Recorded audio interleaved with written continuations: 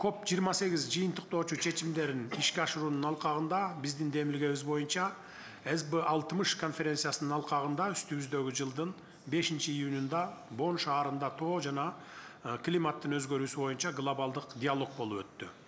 Ошондуктан бул тоолор боюнча диалогду бириккен улуттар уюмунун алкактык конвенциясынын иш чарасы катары жыл сайын өткөрүүнү сунуштайт элем бул контекстте кыргызстандын демилгесин колдоону сиздерден өтүнөм.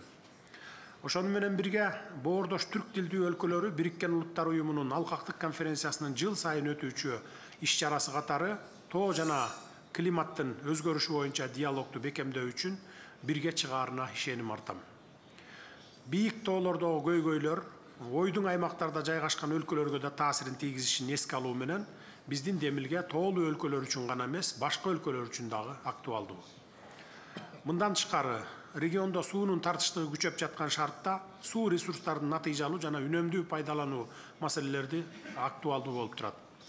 Ушуга байланыштуу кыргызстан эки миң жыйырма үчүнчү жылы бишкек шаарында энергияны үнөмдөөчү жана ресурс үнөмдөөчү технологияларды киргизүү боюнча аймактык борбор түзүү демилгесин көтөргөн.